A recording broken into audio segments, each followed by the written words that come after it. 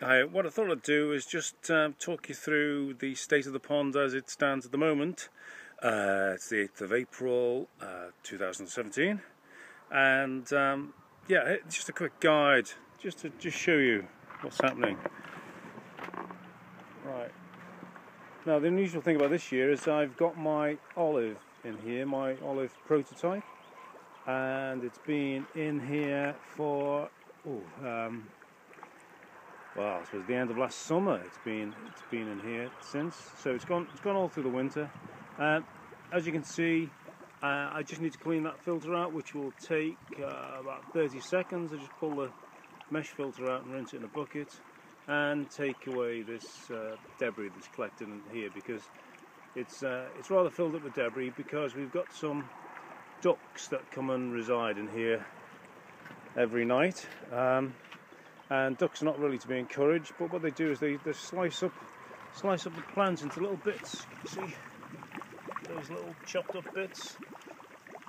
They're pulling them up from the bottom and all over the place and making a bit of a mess.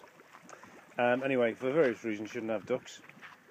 The interesting thing about the olive is that it seems to be inhibiting the blanket weed. If I have a look around the margins, you can see, there's no blanket weed whatsoever. Now, normally this time of year, especially as the sun has come out now, and it's really quite warm, there's normally a lot of blanket weed. Um, you know, having said that, it does subside once the plants get going, but this year there has been no blanket weed, and yet, you know, I can find plenty of blanket weed in buckets around and uh, in other ponds, but there's none you know, there's none here.